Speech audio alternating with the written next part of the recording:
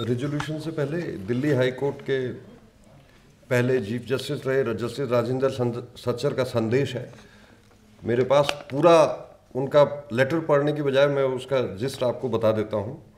उन्होंने एग्जीक्यूटिव के judicial appointments के में इंटरफेरेंस का एक बड़ा महत्वपूर्ण मामला हमारे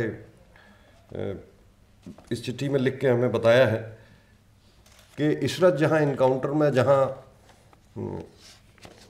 अमित शाह एक्यूज थे। गुजरात हाई कोर्ट के chief just acting chief justice रहते हुए जस्टिस पटेल ने इशरत जहाँ इनकाउंटर की सीबीआई से जाँच की मांग की थी। सीबीआई से जाँच का ऑर्डर दिया था।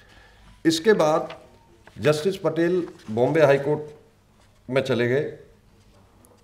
उसके जब बाद justice Patel Karnataka high court में चले गए। कर्नाटका हाई कोर्ट में वो सेकंड सीनियर मोस्ट जज थे।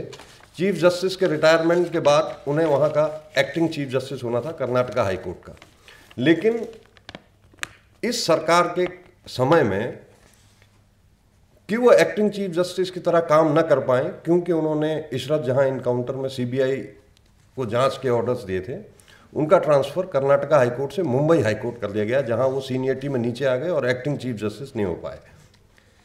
इसके बाद उनके ट्रांसफ़र को और आगे जस्टिफाई करने के लिए ये ट्रांसफ़र रूटीन कोर्स में किया गया है, उन्हें इलाहाबाद हाई कोर्ट ट्रांसफ़र कर दिया है। और ये सारा काम एग्जीक्यूटिव ने नहीं, ये कॉलेजियम की रिकमेंडेशन से हुआ है। और इसके बारे में जस्टिस सचर ने जो शब्द कहे हैं, उनका कहना है कि घर को आग लग गई है घर के चिराग से। ये कॉलेजियम है जिसने जुडिशियल इंडिपेंडेंस का जो चिराग था, उसके हाथ में था, लेकिन उसने जो जुडिशियल इंडिपेंडेंस का हमारा ताना बाना घर बना हुआ था, उसको हमारे कॉलेजियम ने ही उस चिराग को हाथ में लेकर के उसको आग लगा दी जो ताकत उन्हें दी गई थी जजेस को ट्रांसफ़र करने की, वो दी गई थी कि वो उस इंडिपेंडेंस को कायम रखें जजेस इस दबाव से बचे रहें।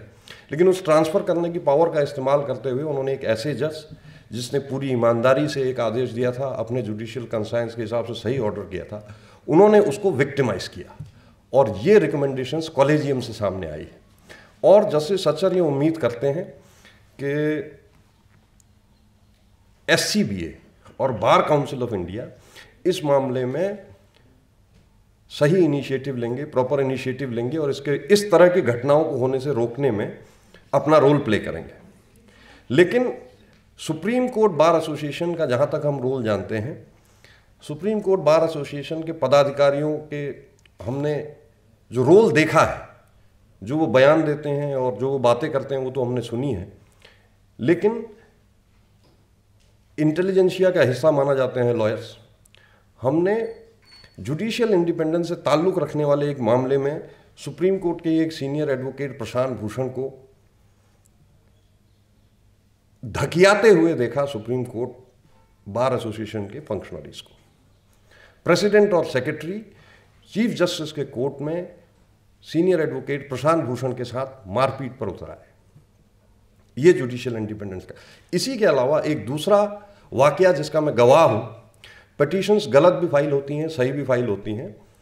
जाट आरक्षण के मामले में सुप्रीम कोर्ट ने राम सिंह वाले मामले में फैसला दिया था कि जाट आरक्षण नहीं होना चाहिए। एक जाट नवयुवक ने सुप्रीम कोर्ट में पटिशन फ़ाइल की और उसने उस मामले के रिव्यू के लिए एक पटिशन फ़ाइल की। या उसने एक नई रिट पटिशन फ़ाइल की उस मामले से संबंधित, जो हमारे चीफ जस्टिस के कोर्ट में आई। और चीफ जस्टिस ने उसने कहा कि मैं पटिशनर इन पर्सन हिंदी में इस केस को आर्ग्यू करना चाहता हूँ। और चीफ जस्टिस ने उस लड़के को ये कहा कि तुम जानते हो तुमने इस पटिशन में कोर्ट के बारे में क्या कहा है? अगर मैं ये पटिशन इन वकीलों को यहाँ पर दिखा दूँ तो ये लोग तुम्हें यहाँ पर से बुरी तरह से पीट करके भगा देंगे। और साथ में जो वहाँ वकील खड़े थे और जो एडिशनल सॉलिसिटर जनरल कहे थे, उनसे कहा कि ये पटिशन आप ले लीजिए।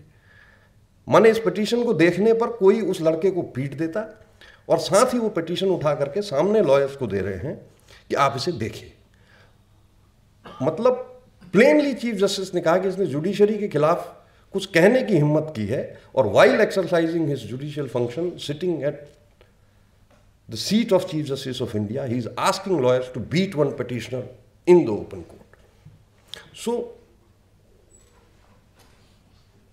ये वो जगह है जहाँ पर हमारा सुप्रीम कोर्ट पहुँच गया है और ये वो घटनाएँ हैं जो हमें सामने देखने को आ रही हैं आज एक पटिशनर को कहा गया है कि ये मेरे खिलाफ बोल रहा है, तुम इसे पीट दो। कल को एक वकील को कहा जा सकता है कि इसने किसी जज के खिलाफ किसी इंक्वायरी की डिमांड की है या कहा है कि इन जज ने कुछ गलत किया है और वकीलों को उकसाया जा सकता है कि ये इन्हें पीट दें। बार काउंसिल ऑफ़ इंडिया की जो हालत है, आज सुबह कोर्ट में जस्टिस आर के अग्रवाल के यहाँ बार काउंसिल ने एक रेजोल्यूशन पास किया है और वो रेजोल्यूशन उन्होंने एक एप्लीकेशन के साथ जस्टिस आर के अग्रवाल के कोर्ट में आज सुबह पेश किया। ये कहते हुए कि आप इस रेजोल्यूशन को अप्रूव कर दीजिए। हमने आपसे ये इन्फॉर्मेशन के लिए आपके पास भेजा है, आप इसे अप्रूव कर वो जिसकी कोई ज़रूरत नहीं है, लेकिन अब बार काउंसिल ऑफ़ इंडिया जो कुछ भी उल्टा सीधा काम करेगी, उस पर सुप्रीम कोर्ट की मोहर होगी। बार काउंसिल ऑफ़ इंडिया का जो एक बहुत महत्वपूर्ण योगदान पिछले दिनों में रहा है, वो ये रहा है कि उन्होंने senior counsel Dushyant Dave ex president supreme court bar association को नोटिस दे दिया कि आपका जो कंडक्ट है वो इतना ख़राब है कि आपकी जो है वकालत का लाइसेंस है वो कैंसिल क्यों ना कर दिया जाए? इसलिए कि उन्होंने कहा कि जुडिशरी ठीक तरीके से अपना काम नहीं करी, ये कहने की हिम्मत की कि जुडिशरी को अपना काम कैसे करना चाहिए। आज का जो उनका रेजोल्यूशन है, Manan Kumar Mishra bar council of India के जो चेयरमैन हैं, वो लगातार अपने कार्यकाल को पिछले चार साल से एक्सटेंड करते चले आ रहे हैं। आज का उनका जो रेजोल्यूशन उन्होंने पास किए हैं, वो ये हैं कि सीसीटीवी कैमरा जहाँ भी वोटिंग हो रही है, लगाए जाएँ। जो भी कैंडिडेट्स का कंडक्ट खराब हो, उन लोगों को जीतने के बावजूद बार काउंसिल इलेक्शन में इलेक्टेड डिक्लेयर न किया जाए। गजट नोटिफिकेशन होने से पहले ऐसे सामने मामले ट्राइब्यूनल के पास भेजे जाए। ट्राइब्यूनल से इन मामलों का फैसला न आने तक नए बार काउंसिल ऑफ़ इंडिया या स्टेट बार काउंसिल्स को कॉन्स्टिट्यूटेड डिक्लेयर न किया जाए by publishing it in the gazette notification जो मेरी समझ में आया वो ये आया कि वो और इलेक्शंस हो जाने के बाद और अग, और अगले दो चार साल तक अपने टेन्योर को एक्सटेंड करना चाह रहे हैं। और सुप्रीम कोर्ट बिल्कुल आँख बंद करके अच्छा आपका ए अप्रूव करना है ठीक है बी सी और क्या क्या आप चाहते हैं? ये जो सिचुएशन है ये डिप्रेसिंग बहुत है और हम आ, मतलब आम तौर पे कोई सामान्य सा आदमी इसके सामने सरेंडर कर जाए। लेकिन इसमें हम लोगों का मानना है with the inspiration and guidance of our seniors कि अगर हम इसके खिलाफ खड़े करें खड़ा रहेंगे प्रोटेस्ट करेंगे प्रतिवाद करेंगे तो we will file we will feel like we are alive both as a person and as a lawyer and we are uh, to our our to to duties हम अपना फ़र्ज़ निभा रहे हैं ये भरोसा हमारे अपने मन में रहेगा तो इसलिए ये सब करना ज़रूरी था। मैंने बीच में दो घटनाएँ बताने के लिए आपका दो मिनट ले लिया इसके लिए माफ़ी चाहता हूँ।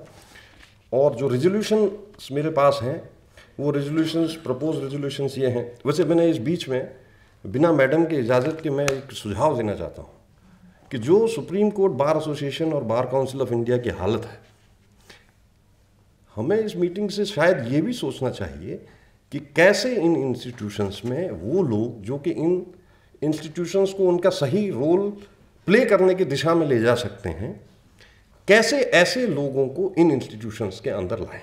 और ये वकीलों की अपनी लड़ाई। मुझे लगता है कि मिस इंदिरा जयसिंह को वकीलों की लंबे से चली आ रही ये मांग कि आप सुप्रीम कोर्ट बार एसोसिएशन के प्रेसिडेंट पोस्ट के लिए कंटेस्ट कर रहे हैं इसे मंजूर करना चाहिए। क्योंकि जब तक इस तरह के लीडरशिप के बिना ये इंस्टीट्यूशंस खड़े नहीं, मैं मिसाल के लिए कह रहा हूँ, अगर आप खुद न भी खड़े हों तो हमें कोशिश करनी चाहिए कि इस तरह के प्रोग्रेसिव लीडरशिप इन इंस्टीट्यूशंस को मिले एससीबीए को मिले बार काउंसिल ऑफ़ इंडिया को मिले। मैं ये रेजोल्यूशंस आपके सामने पढ़ रहा हूँ। The house appreciates the initiative of the four जजेस who came out on January 12th of this year in alerting the nation to the danger posed by the arbitrary assignment of cases to benches of preference for the democracy in this country. The, we request the judiciary to clear the air and restore the confidence of the people in the functioning of the judiciary by giving a public statement and laying down rules for a more transparent and participatory functioning of the collegium system in addition to the reform of the roster system.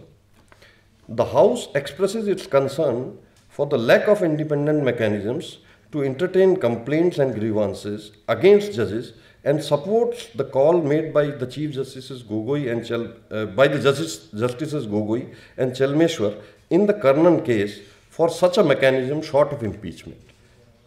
माने हम चाहते हैं कि जिसके खिलाफ शिकायत हो केवल इम्पीचमेंट जब उसका होगा तभी कुछ होगा ये होने के बजाय कोई ऐसा मैकेनिज्म हो जो क्रेडिबली इस तरह की शिकायतों को इन्वेस्टिगेट कर सके और ज़रूरत पड़े तो सस्पेंशन या विड्रॉल ऑफ़ वर्क जैसे मेजर्स भी ऐसे जज के ऊपर लागू किए जाएँ।